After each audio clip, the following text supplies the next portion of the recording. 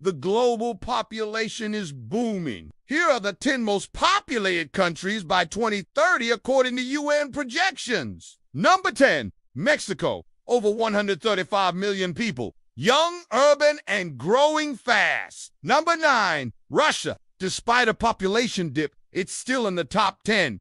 Vast land and resources. No. 8. Bangladesh, they're densely packed and rapidly up. Expect around 170 million people. No. 7. Brazil, Latin America's giant. Over 220 million people by 2030.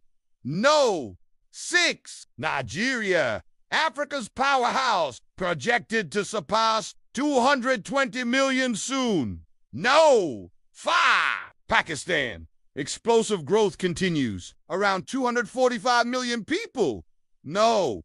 For Indonesia, Southeast Asia's leader. Population reaching over 280 million. No. Three. United States, still growing steadily. Over 340 million people by 2030. No. Two. China, a shrinking trend begins, but still huge around 1.4 billion people. And no, one India, the new number one, expected to cross 1.5 billion by 2030. Population shifts mean power shifts.